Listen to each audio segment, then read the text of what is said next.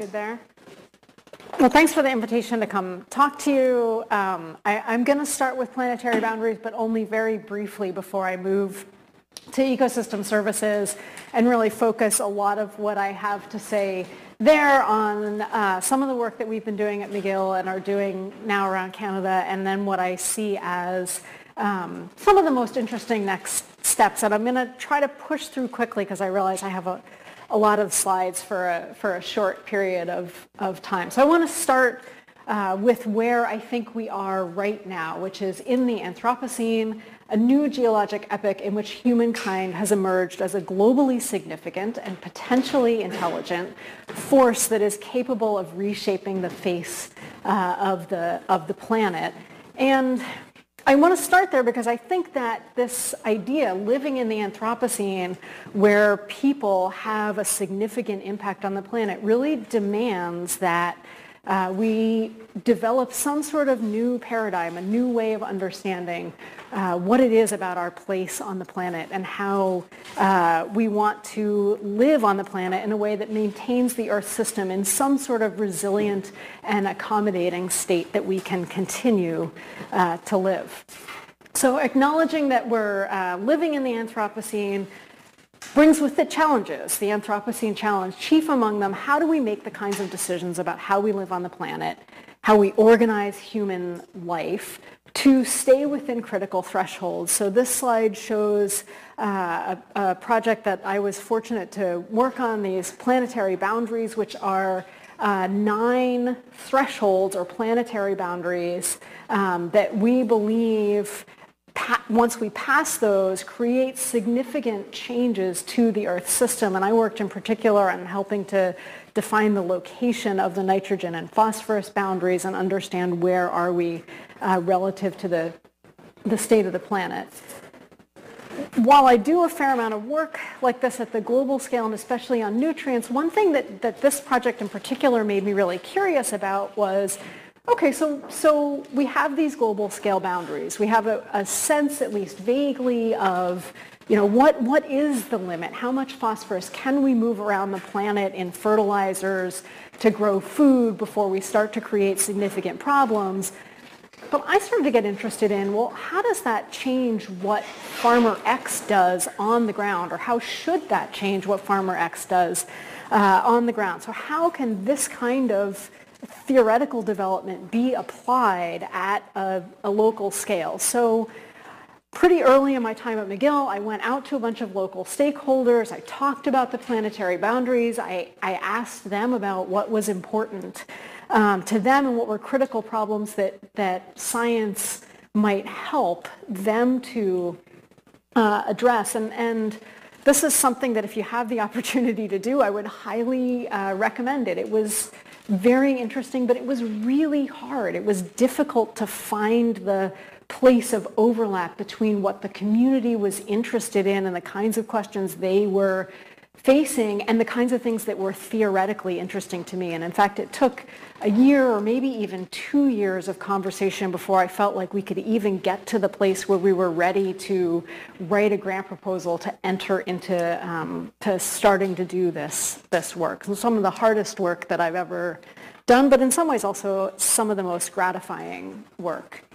So I want to talk a little bit more about that. So this is um, uh, some images of the place that we settled on working in. Um, I can talk a little bit more later about why we settled on working in this place. It's called the Montérégie. It's a really beautiful agricultural landscape just outside of Montreal to the southeast of Montreal. There is um, some forest, mostly in patches around agricultural fields. It's mostly agricultural, probably 80% agriculture. Um, it's rapidly suburbanizing. It's about 45 minutes outside of Montreal, so it's a sort of community of people who are moving there, who are interested in commuting or even telecommuting into to Montreal. The um, big hill up there that you see on the top picture is called Mont Saint-Hilaire. It is a biosphere reserve. It houses a McGill field station and houses a nature center that was really important to our decision to work in this community because it meant that this community was really used to the ideas of biodiversity. That was something that was well uh, uh, in hand. People were very familiar with talking about conservation, with thinking about biodiversity.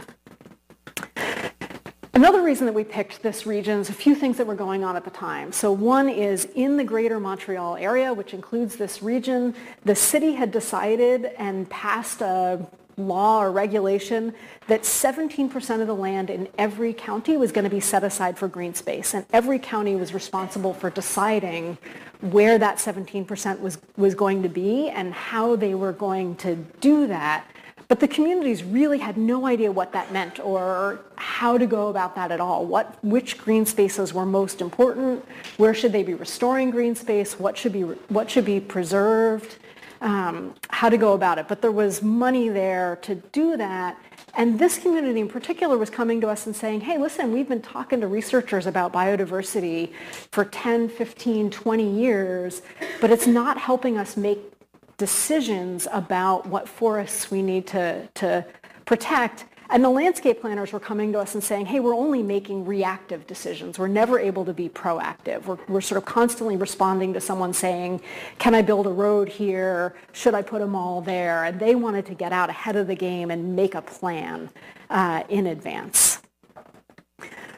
So in addition to the community's interest driving this sort of 17% of the land, we had some scientific ideas that we wanted to explore too. And, and chief among them was this feeling, this thought that I had been developing for a while, which was even though we have a sense that all of our landscapes are providing a lot of benefits, um, which I'll call ecosystem services, we were managing them as if they only provided one, or maybe one in trade-off with another.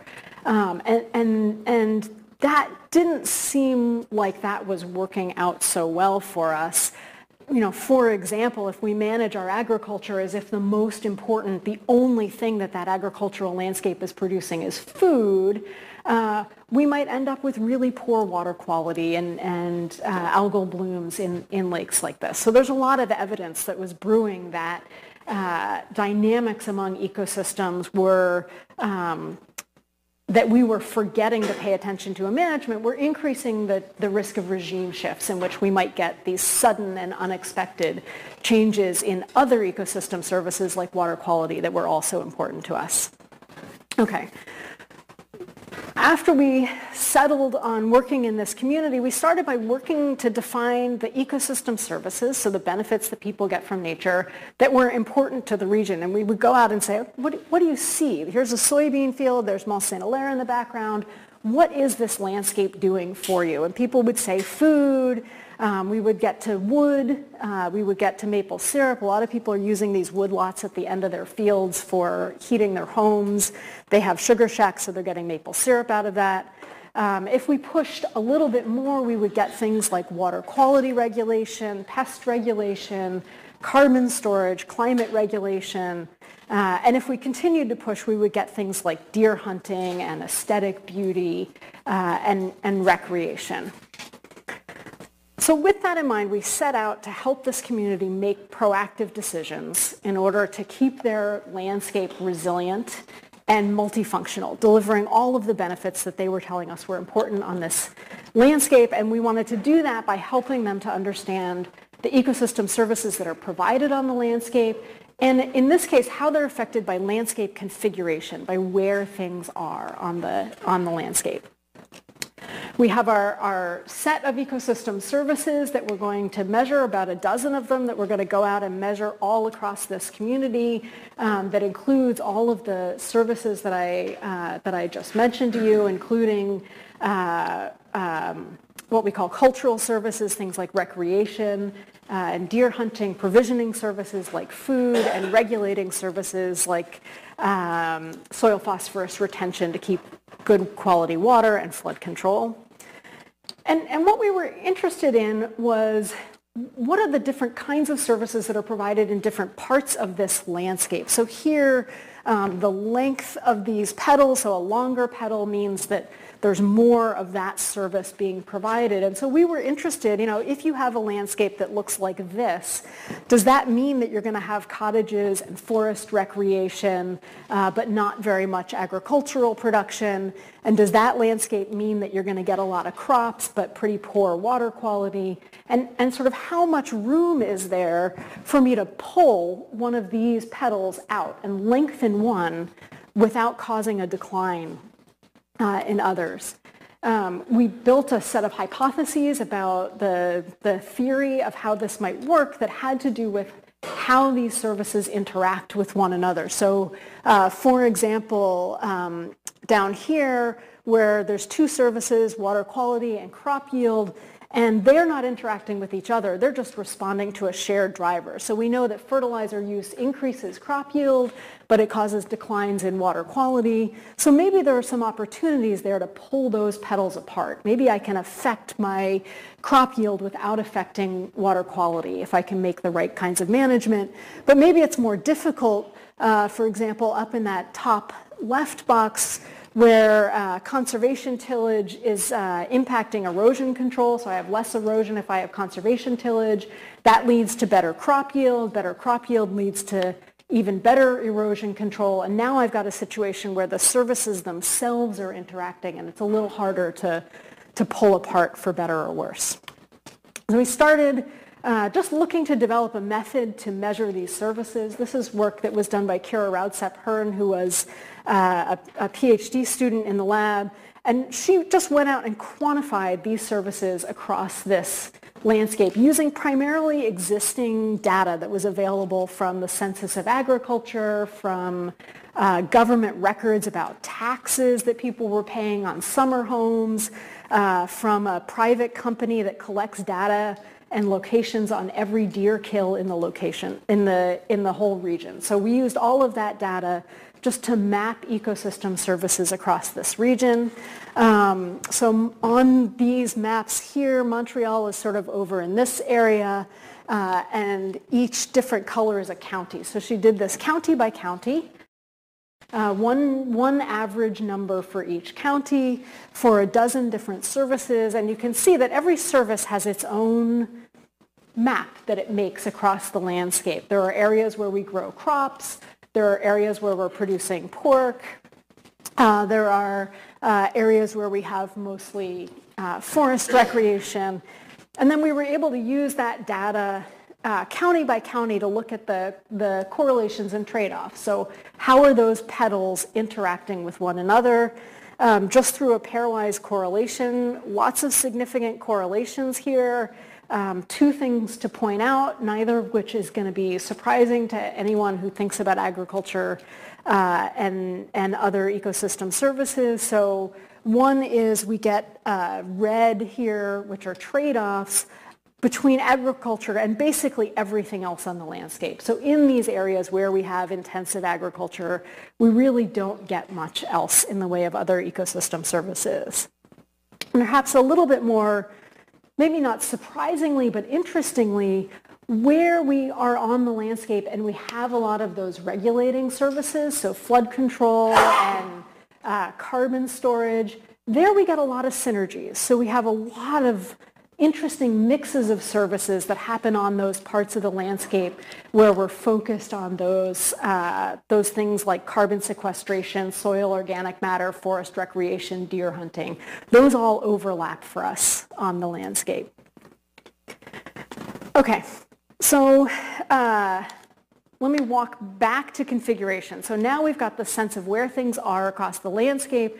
But remember I told you that we were interested in, in whether it mattered where things were on the landscape, because the community wants to know from us this forest or that forest. I've got a million dollars, which one am I gonna, gonna protect? So first we just wanted to make sure that where mattered. Maybe it's just what that matters. Um, so that was our first goal was to just confirm that hypothesis. So um, uh, what is configuration? So these are different hypothetical landscapes. They all have the same composition. In other words, each one of these pictures is 50% green for forest and 50% yellow for agriculture. Um, and at the time that we were doing this, the, the really top of the line ecosystem service models treated every pixel of agricul- of forest just like any other pixel of forest. So if you were a green pixel of forest surrounded by agriculture, or you were a green pixel of forest surrounded by forest, the assumption in the best models of the day were that pixel of forest produces exactly the same benefits no matter where it is on the landscape. We were pretty sure that that was not the case, but we wanted to go out and, and measure and test. Um, this was work done by Katie Liss, who was a master's student in the lab, looking at how landscape structure interacted to influence service provision. Um, she quantified composition, so what's on the landscape, and three aspects of configuration. Position, which is where things are. Connectivity, so in other words, how close are the forest patches to one another? And then shape, you know, is this a one big blob or is it something with a lot of sinews and pieces to it? Uh, she built a theoretical structural model that really is the visual image of her hypothesis about how this works. So you can see uh, composition affects services directly. We know that a forest is going to do different things for us than a patch of agriculture. Um, but also that these aspects of configuration are going to play a role too. They're going to influence uh, ecosystem services and composition, of course, is going to influence configuration. If you don't have very much forest, it's much harder for the forest to be, to be connected. So she built this model and then we tested this model with the data that Ciara had collected about the, the landscapes. Um, and this is what we find. So what you are seeing in uh, red is the impact of composition, so what is on the landscape.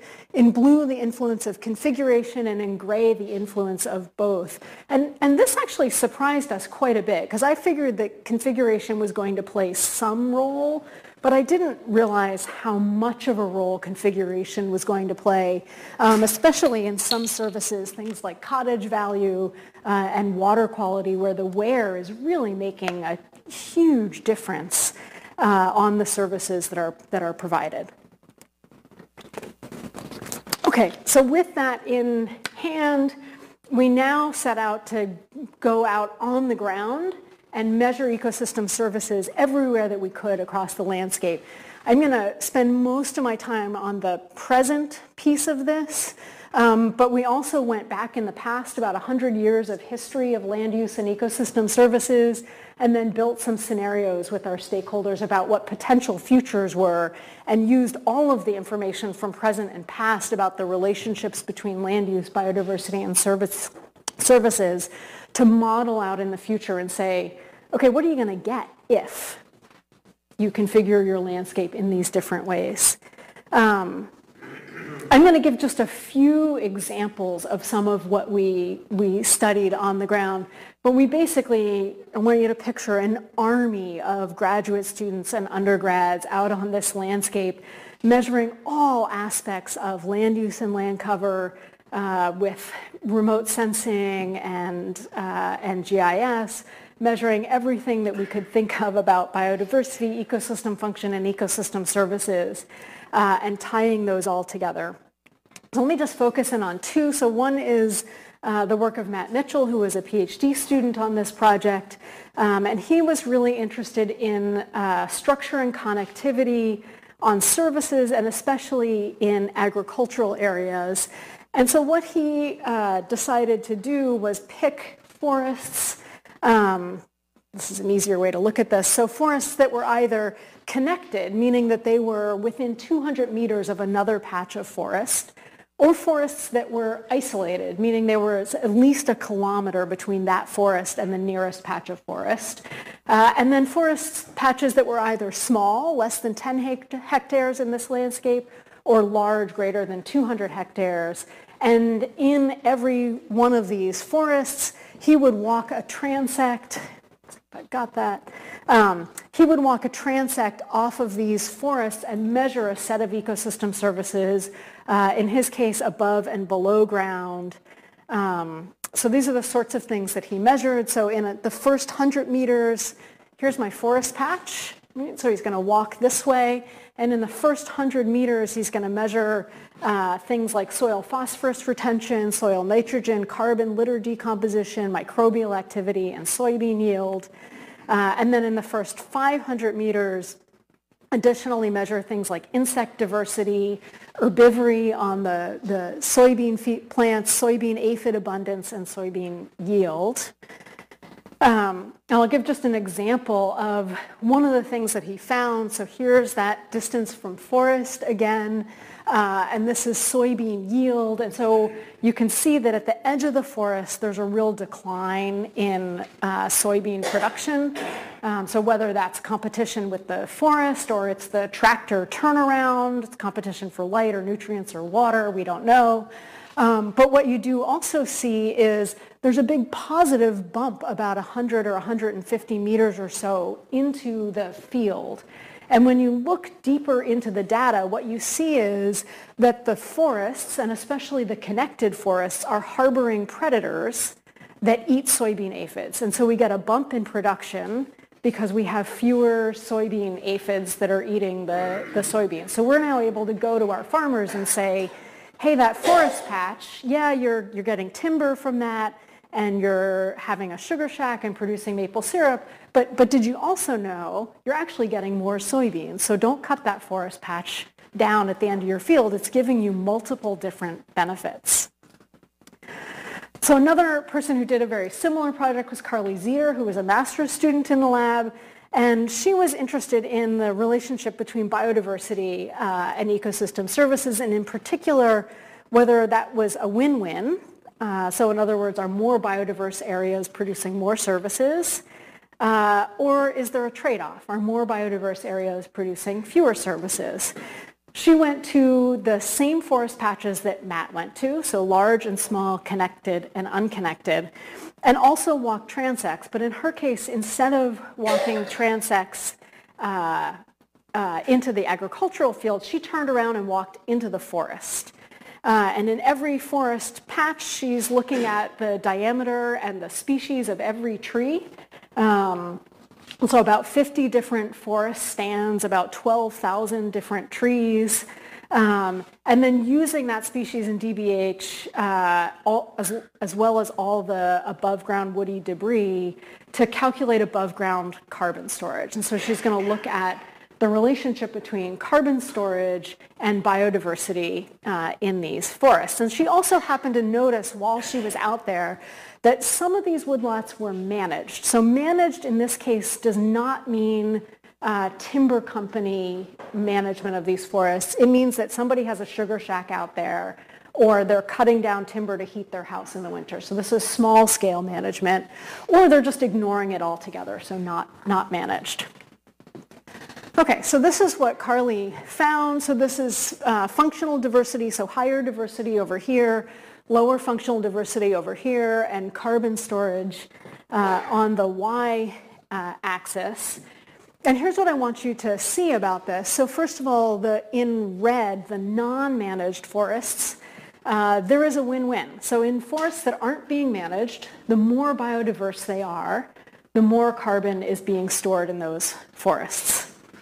However, in managed forests, the more biodiverse they are, the less carbon they're storing. So a trade-off in the managed forests, but also in the managed forests, until you get out to these really high functional diversity forests, the managed forests are almost always storing more carbon than the unmanaged forests. Um, or in other words, all forest fragments are not created equal. We have some hypotheses about why this is. If you look through the data, it looks like when people are managing their forests, what they're trying to do is keep really big maple trees in those forests so that they can get more maple syrup. Maple is a very dense wood that stores a lot of carbon. So probably what's happening is they're looking for maple syrup. What they end up getting as a side benefit uh, is not only uh, is, is a lot of carbon storage. Okay. Um, so lots, the army, my army of students. So I'm not talking about any of the work that we did on uh, bees, about, about 2,000 bees that we captured and looked at the uh, role of landscapes on pollination. That's incredibly important in this area because one of the big recreation things that's happening here uh, is self-pick uh, apples. Uh, uh, we looked at trees that I talked about about 300,000 uh, insects that we collected, both the soybean aphids that I talked about, but also a massive study of the riparian area and what was happening uh, with water quality, lots of soil samples collected. Um, that's, this is all out there and published, so if you want access to it, I can point you in the right direction. Um, but I want to move on to the past uh, stuff so that I get through everything uh, that I want to get through. So Delphine Renard, who was a postdoc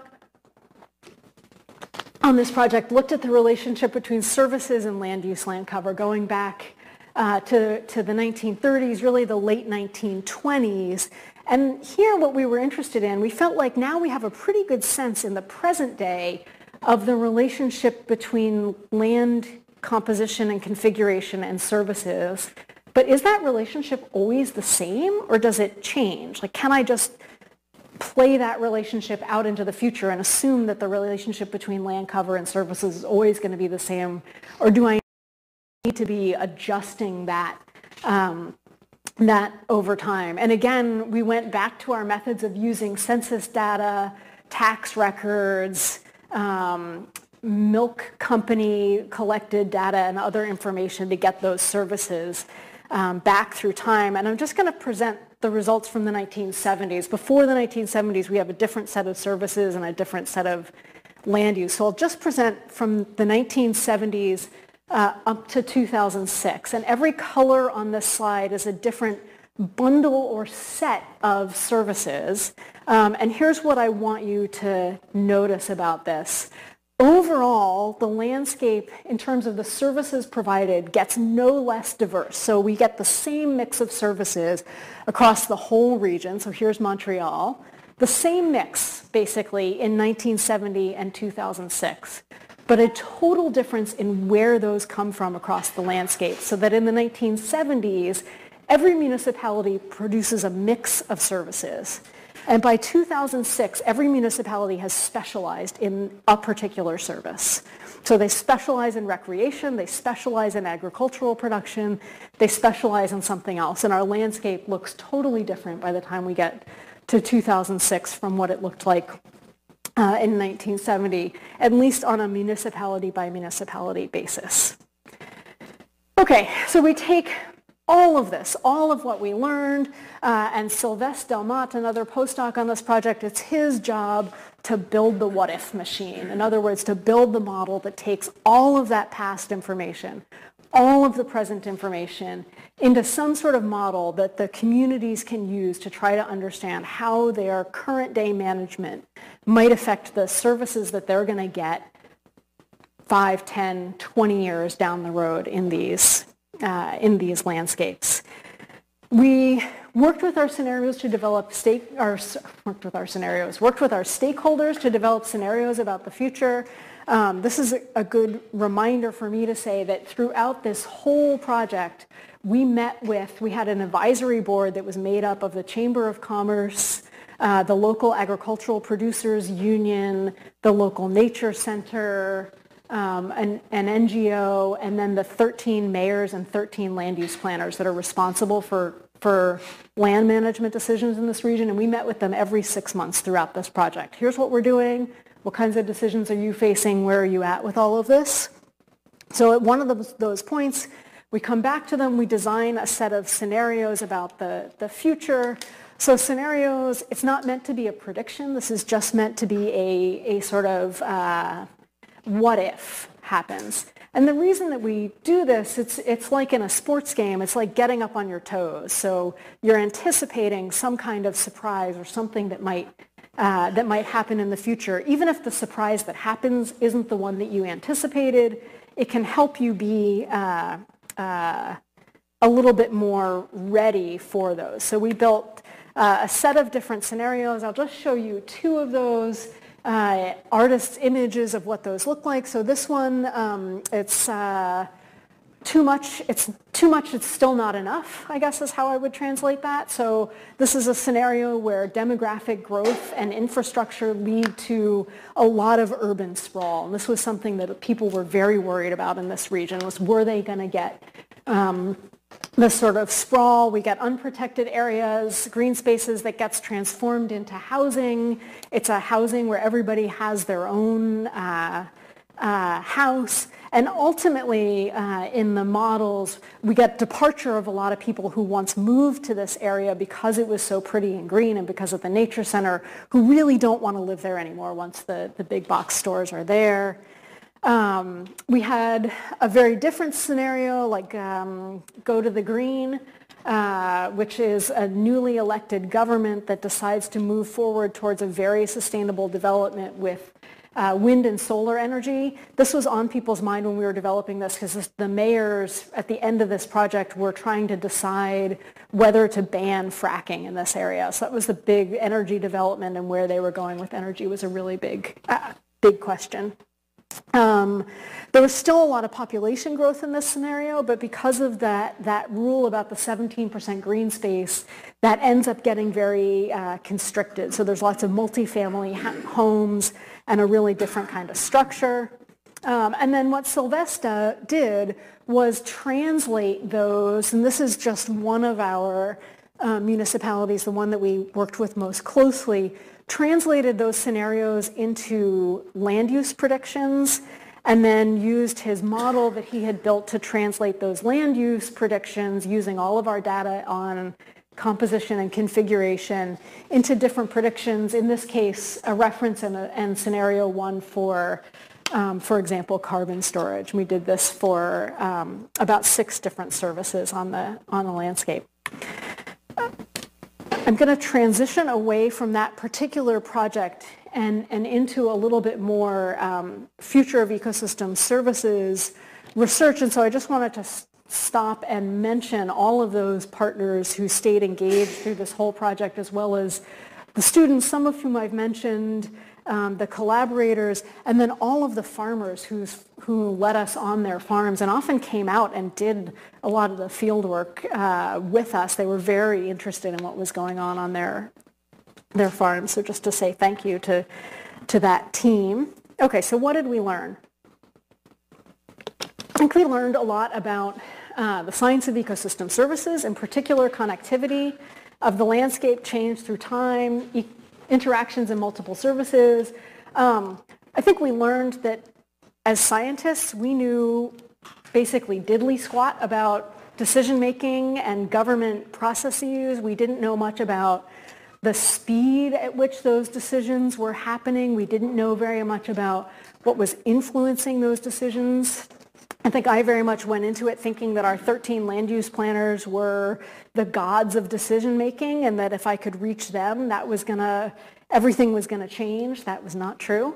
Um, the community in general wasn't really aware of ecosystem services or ecosystem service science at all. So there was a lot of aha moments between us um, and the larger community. And then we, I think we had a lot of success getting people talking. So we had a lot of public engagement um, evenings where we went beyond our advisory board and presented these scenarios to the community, had role-playing events, and got people in the community talking to each other about, well, I like this scenario, I like that scenario, why do you like this one?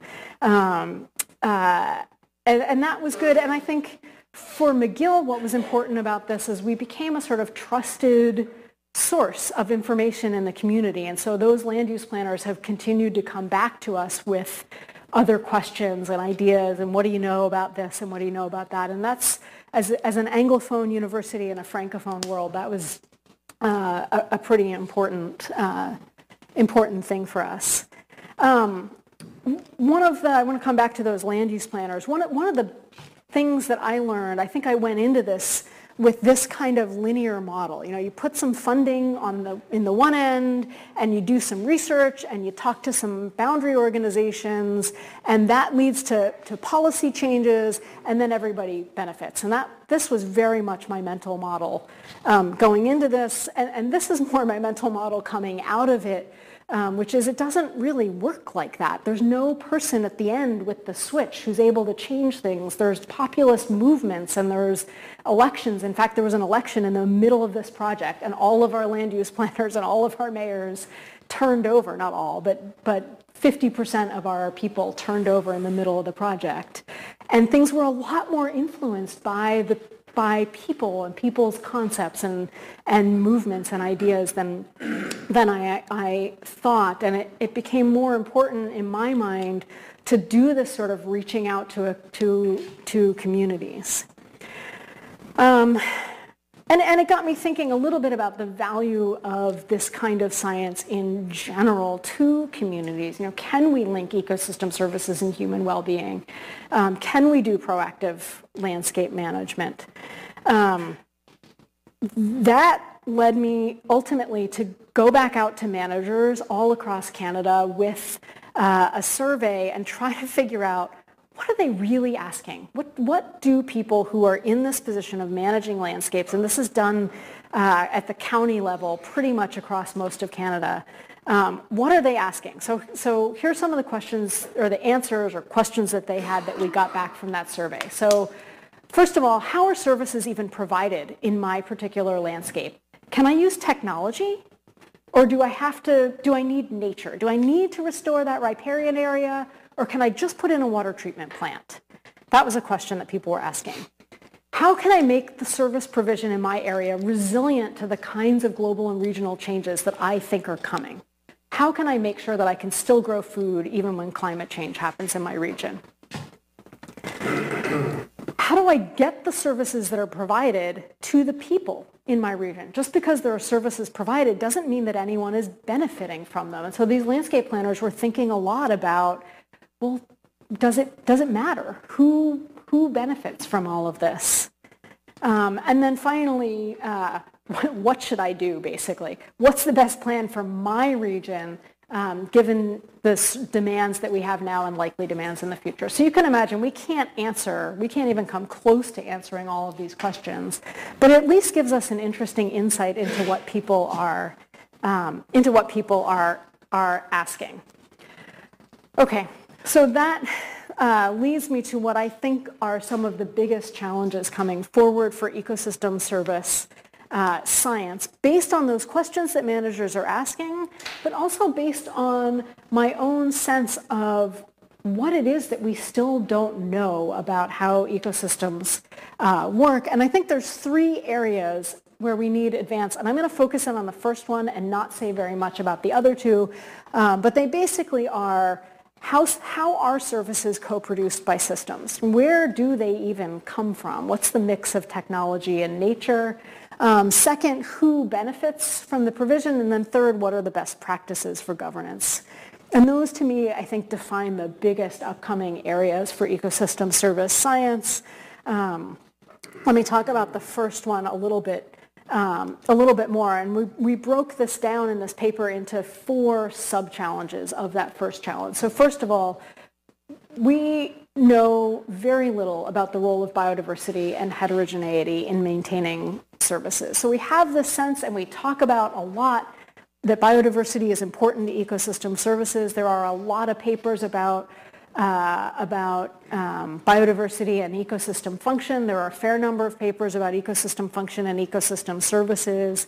Almost all of those are lab-based and not field-based, and there's a big gap between our understanding of how this uh, works in the lab and how this, uh, this might work in the world.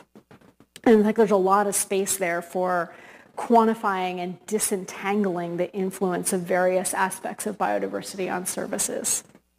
Okay. Uh, the second part of this, what's the effect of landscape level heterogeneity? So let's scale up from biodiversity to landscape diversity. And how does that matter? You know, we know that uh, species are moving all around these landscapes. There are species behavior changes that are happening in these landscapes that are responding to localized heterogeneity. Um, but we don't really know how and when that comes into play for provision of services or for which services.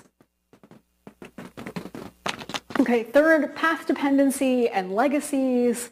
Um, we think that land use history has a role to play here that one riparian area might not provide the same function as another riparian area because 50 years ago one was, was being uh, used for crop production and the other one wasn't.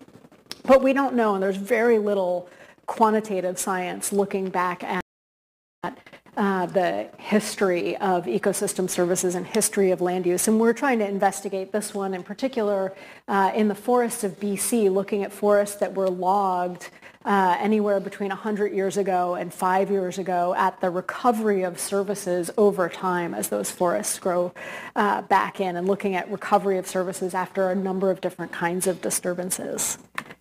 Um, and then finally, what's the role of social systems in ecosystem service supply and in delivery of benefits to people? So, you know, I mean, human intervention is a massive driving force in all of this if I come back to this idea of the, the Anthropocene. We are protecting, conserving, using, altering, destroying, rehabilitating, and otherwise changing ecosystems for our own benefit all of the time.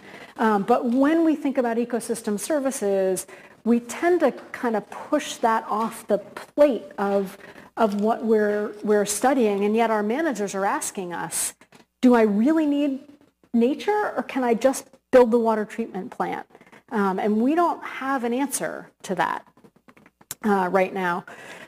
One of the things, this is Jesse Reeb, who's a PhD student in my lab, who's looking at this uh, right now, and he's looking at um, relationships between natural capital and other capitals in the provision of ecosystem services, in particular looking at crops, water quality, uh, and recreation uh, all across um, the United States. So for example, uh, in crops, we're looking at uh, counties across 10 states. Our indicator of ecosystem services is we have corn yield uh, in tons per acre. We know the natural capital, we know about the soils because there's a national commodity and crop productivity index, so we know which soils are higher quality than others. And then we also have information about what people are doing with technology on those fields, where they're using fertilizer, chemicals, pesticides, herbicides, fuel, and labor and how those are contributing. And we're able to map across all of these uh, 10 states what kind of service provision do we get with different combinations of natural capital and other capitals. Um, I won't stop on this for very long, but we can do that for water quality, uh, and we can do that for recreation too. And Jesse's now building a, a model based on this data uh, that looks at service provision um, with different relationships between capitals. So are the capitals substitutes or complements of one another? Is, does changing one capital increase or decrease the other capitals? And doing that, we can understand not just how you can mix different capitals to get different services, but what's the influence on the long-term resilience of service provision across these areas. Okay, and then challenge two and three, who benefits and best practices for governance, which are really important, but I'm not to um, I, am not to stop uh, too long on those.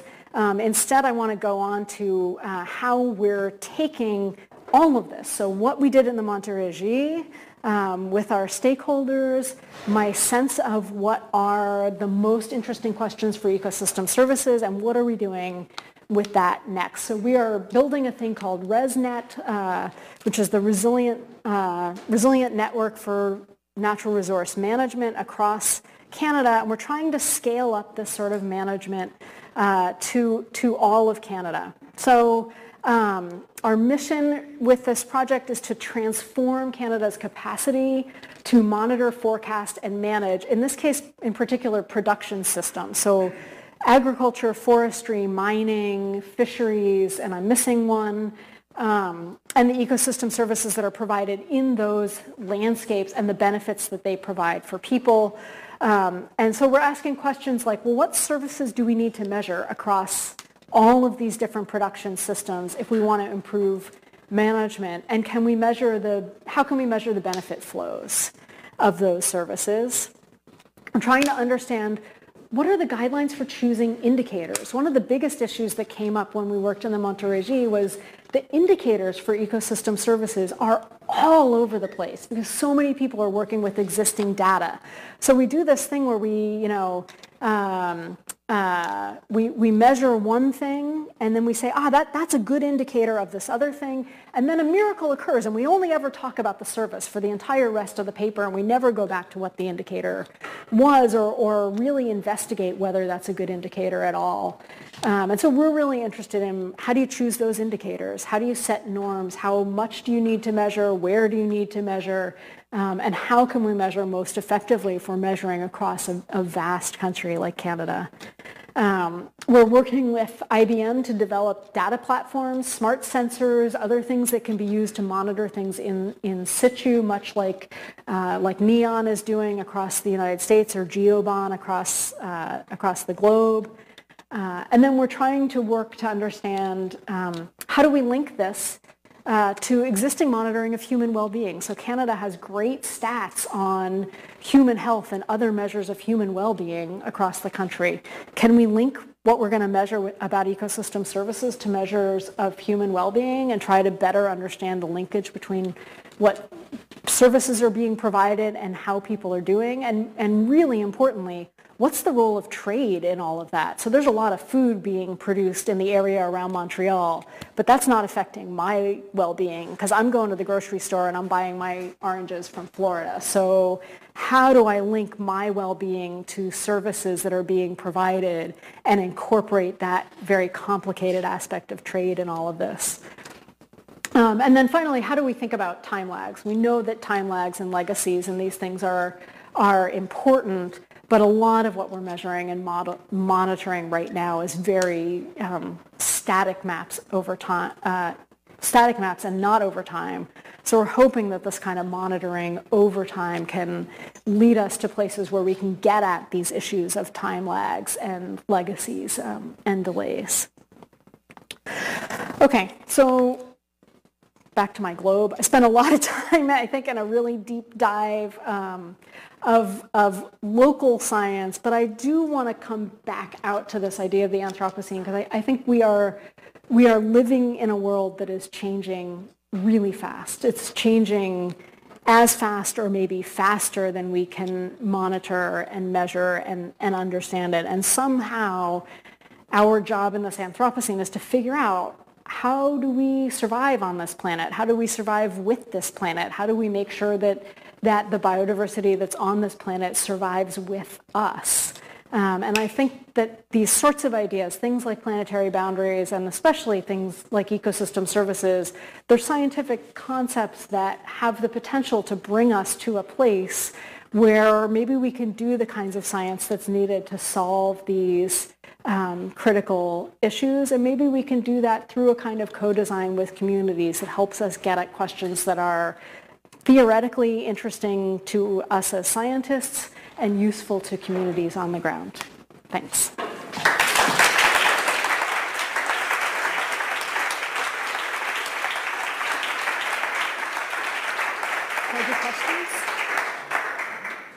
Do questions? Do questions? I will if people have questions. Call people, uh, those questions you want to hear. I'm very interested in the map you had between 1970 and 19, um, 2013. And you made the point that the ecosystem services were the same, but they were redistributed, They became more specialized into each one in certain areas in 2001 compared. Now, what, what impact does that? Simply the specialization in the eco services themselves, as opposed to the distributed picture, uh, which I take as 1971.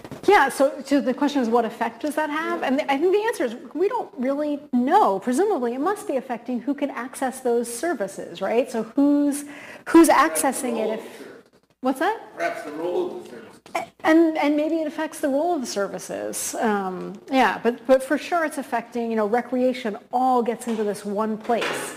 And so it affects the, the economics of those communities that are investing in facilities for recreation. It affects those communities. Those communities, you know, this is my recreation. Those communities are now being influenced by Montreal and Quebec policies that are that are that are changing things. And and maybe it changes you know when my communities come to me and say can I do I need riparian areas or can I just build that water treatment plant? The answer to that question is maybe different when you're in this world where everybody's specialized than it is in that world where where things are distributed. We we have no idea if it looks like this anywhere else. Do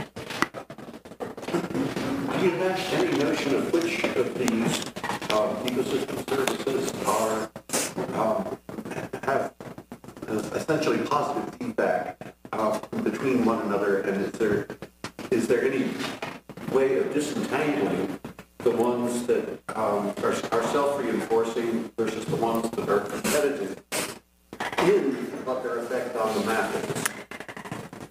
Oh, in what their effect on the map is. I was thinking, okay, I got this one. Um, we know which ones have these positive correlations, and I think we have a pretty good sense of how to maintain those.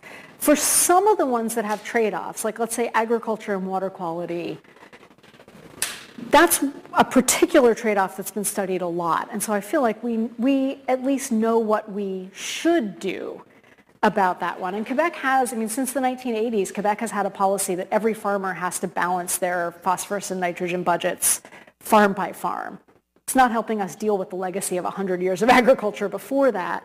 But we have a sense that some of these we can pull apart and, and that others we really can't. They're just driven together by, by land use legacies or other things and there's no disentangling of them.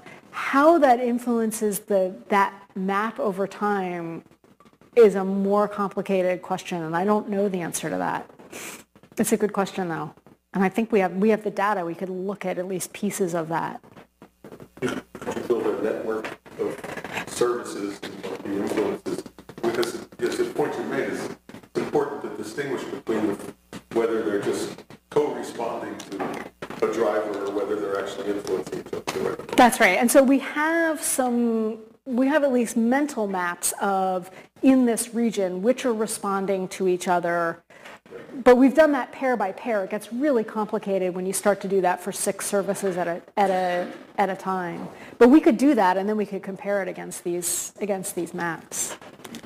So I want to ask a remedial question first. And, and can you walk me through Yep. these maps that make it obvious that in fact the, the system is getting more specialized in 2006 to 1971? So tell me what I need to look at to say, yeah, that really is more specialized. That word specialized Okay. a lot of, a, meaning. So, so what I will do, because it, it's, it's a little bit hard to see from these maps, but what I can do is show you the equations and the data that for sure show that, and by specialized, what I mean is the, the, each one of these is a municipality, so each different uh, block there is a municipality, that the municipalities go from every municipality is producing a bundle of services over a certain threshold level. So you have every municipality is producing at least three services over a threshold to a situation where most municipalities are only producing one service over that, that threshold. And so that's what's happening when I say specializing. They're going from producing three or more services at a level that we say, okay, this is the level where it counts, to producing one service at that level where it counts. And so the, the follow-on question then, it'll be the last one, is, uh, is, um, is there any dominant axis of land use change that explains the lion's share of your specialization? So that the one that's most common in the eastern half of this country is agricultural abandonment and succession forest. And so and so in a, in a, in a, in a farmland that had a wood lot and a, you know, you know, a bunch of different, right, place to live and so on, you end up with a forest, and that would, in a sense, look more specialized. Yep. But it's a question of how you count the services that the forest provides, Yeah. right? Because each one of these specialized places, in a sense, supplies many services. So I just don't get how you do the calculus without some much larger scaffold. Yeah. Um, so let me go back to the question about land use first and, and to say what happens in this landscape between the 70s and 2006 is you have a very like market garden vegetable production oriented situation up here that moves towards a much more intensive corn soy with some stops in the middle for sugar beets and then we get to corn soy uh, down here. And that agricultural specialization then means that some of the counties can't keep up anymore. And so those counties say, hey, we can't keep up agriculturally, and they flip and turn to recreation primarily as their dominant, what's driving the economy in those, in those cities. And I think that that's probably what's happening. More than, the forest area doesn't actually change all that much. So we don't have that same agricultural abandonment, but you get this real drive towards intensification. Is that black dot there, is that we're- That's Montreal. Yeah, Black Dot's Montreal. Well, That's, that's an interesting thing, that's dominating Mm-hmm. these developments here. Uh, And it's just amusing, if I get to, excuse the expression, to just see it as a, as a- a black there. That's really dominating the Yeah, and it still is, right? So it was, you know, it was, it's, it's this black dot that decided that this whole area is going to preserve 17% of their, their land in every one of these counties for, as green space. They didn't define what green space is, but, but it's, that, that came down from the black dot to everybody else. There was a question over here. Yeah, I had a question kind of honestly, between planetary boundaries and services. Uh, Yeah. Maybe using your project best as a case study. It was awesome to see you know, how much local stakeholder you get in terms of defining what is an ecosystem service, how to value that. And I guess how do you, maybe I'm just not but how do you go from thousand localized to, to create these kind of standards that work across Canada? And you know.